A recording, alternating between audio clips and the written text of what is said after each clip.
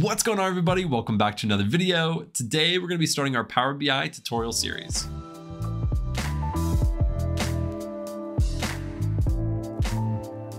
Now I am super excited to start this series with you guys. We're going to be breaking this up in about six or seven videos. I don't really like those super long videos where it's like four hours long. I like breaking mine up into chunks. So that's what we're gonna do. This is the beginner series. And so we're gonna start with the very basics and we're just gonna work our way up. And I'm gonna walk you through every single step of the way. It'll be very easy to follow.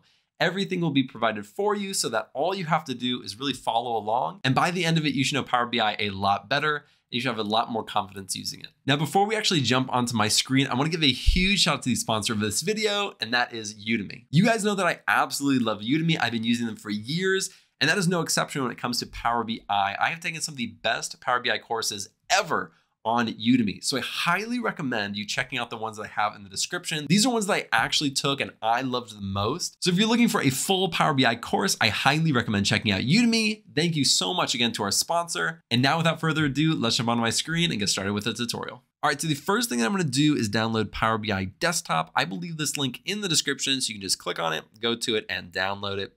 We're going to click this download free button. And once we click it, you can go to the Microsoft Store. And I already have it downloaded. So when you see it, uh, it'll already say downloaded. But um, for you, you can go in here, you can click download and it will download it for you. I'm on Microsoft, uh, but it may look a little bit different for you if you're on a different system. But once that is done, we are going to open up Power BI. So let's go right down here to our search. Let's go to Power BI and it is going to open up for us. All right, so right away, this is what it's going to look like when you open it. And we're going to go right over here to get data. And let's click on that. And it's going to open up this window and it's going to give us a lot of different options for where we can get data from. Now, some of these are free and some you need to upgrade from, but you know, just taking a quick glance through here, you have a ton of options. There's databases, there's um, you know, blob storages, there's PostgreSQL or different SQL databases. Um, there's Google Analytics. There's a lot of places. And you can go through the process to connect to that data and you can pull that data in from those data sources. Now, for what we are doing, we're just going to be using an Excel.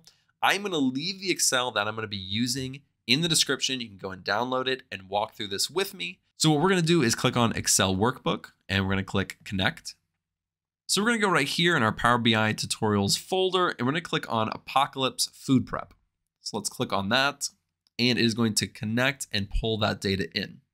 Now right here, we have our navigator. And so if you had a lot of different sheets, you can click on that and choose which ones to pull in.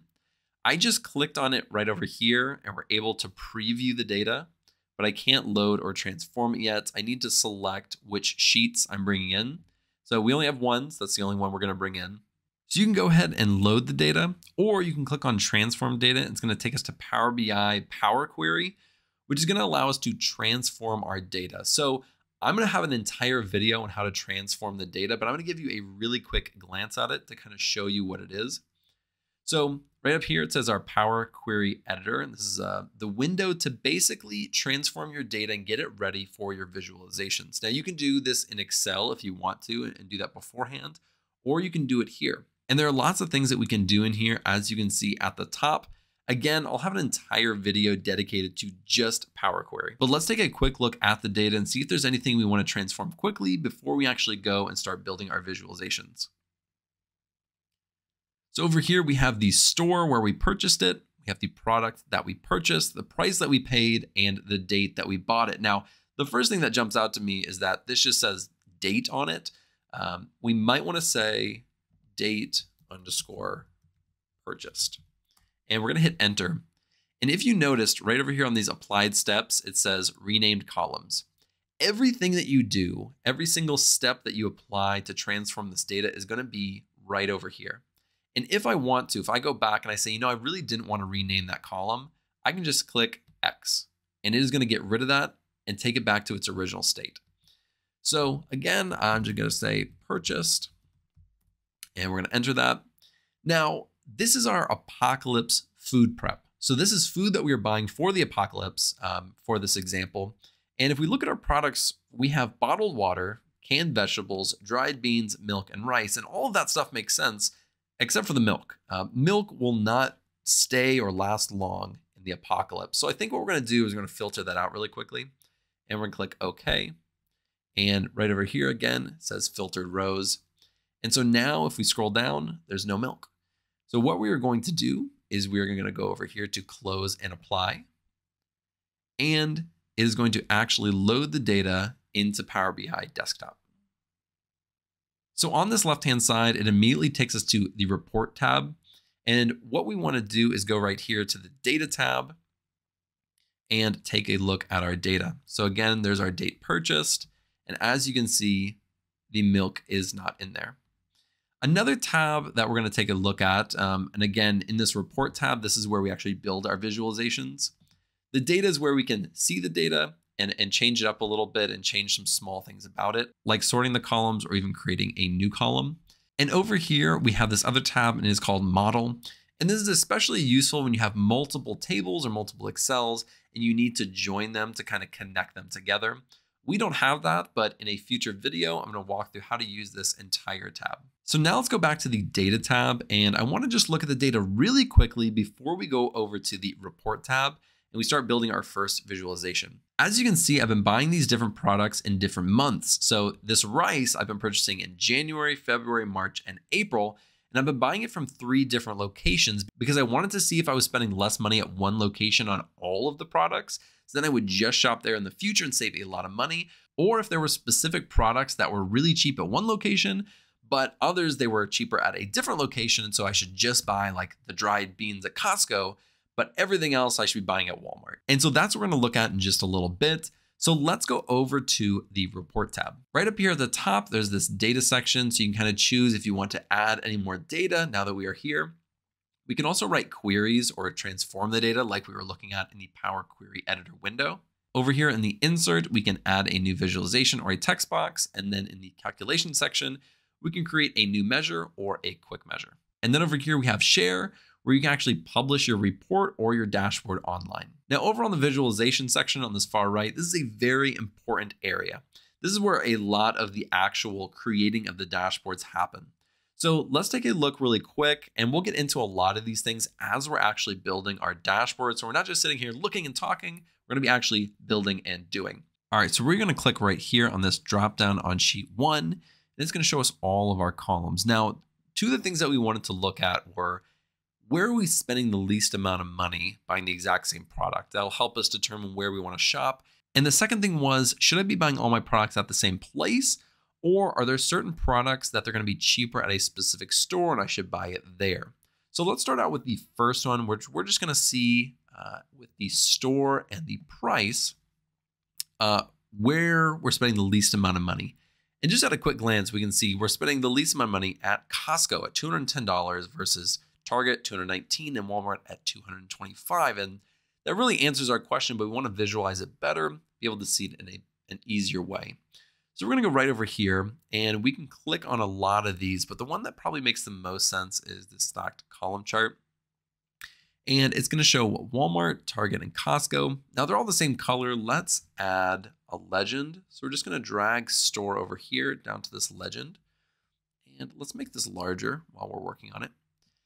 So now we can see we're spending the most amount of money at Walmart, uh, right in between at Target, and then at Costco is the lowest. And so right there, we know that Costco is the place to go for our apocalypse food prep, but is it going to be that way for every product? Uh, I don't know. Let's take a look. Let's put this up in this corner and let's start a new one. We're going to need to select the product for sure and the price and probably additionally the store as well. And let's click on, let's not do this one. We need a clustered column chart. That's what we need. Let's bring this over here. Let's expand this quite a bit. And so really at a glance, this is giving us everything that we need. We can see each product right here, and we can see how much we're paying per store. And so for rice, we're paying, it looks like a lot more for uh, our rice at Walmart, while at Target is actually where we are paying the least. Now, if we look at all of these, it looks like for Costco, the only one that we're really paying a lot more on is on our rice. But for our dried beans, our bottled water, we're paying quite a bit less. And really, it's pretty negligible for these canned vegetables. We're paying maybe what, 60 cents, 50, 60 cents more per can. So that's pretty negligible. But for the big ticket items, um, we're really spending a lot less at Costco. If we wanted to, spend, to save just a little bit more money, we could go to Target for our rice. Now, if I want to make this more like a dashboard and we're only keeping these two things, uh, I'm going to kind of size them uh, kind of like this. Whoops. I was going to show you that in a little bit. I'm going to size them a little bit like this. So now that we have that looking good, we want to change the title of both of these. So what we're going to do is go over here in our visualizations and format your visual. Uh, and we are going to go to this general, go to title, and now we can name it anything we really want. For this, we're going to say best store for product. And while we're in here, one other thing that I wanted to do is I want to go to this visual. Going to go right down here to these data labels. Now we haven't added any data labels. So I'm going to click on and you'll see exactly what it does. Uh, it just puts the labels and the numbers above it. So you don't have to actually like hover over it and see what it is. Now it is actually rounding these numbers. So what we're going to do is go down here. We're going to go down to values and we'll go down to display units and it's on auto. So it's auto rounding those numbers. And we're just going to say none. So we can see the actual value of these numbers. And we can do the exact same thing over here. It probably is a good thing to do. Um, and it just is going to visualize it a little bit differently in here, but you can always um, change that if you want to. Go over here to title, and we're going to say total by store. And now we're going to take a look. And so in a matter of minutes, we were able to take our data from an Excel, put it into Power BI, transform it a little bit, then we were able to create these visualizations that gave us concrete answers to some very important topics. We now know that Costco is the place to go for basically every single product, except if we're buying rice. And if we want to save just a few dollars, we're going to head over to Target. And that is genuinely going to change my shopping habits for the next several years until the apocalypse happens. So in future videos, we're going to dive into a lot of the things that we looked at today, but just in more detail. And then at the very end of the series, we're gonna have an entire project where we really use every single part of Power BI and create a beautiful dashboard. And so that's all we have for our very first video in our Power BI series. I hope it was helpful. If you like this video, be sure to like and subscribe below, and I'll see you in the next video.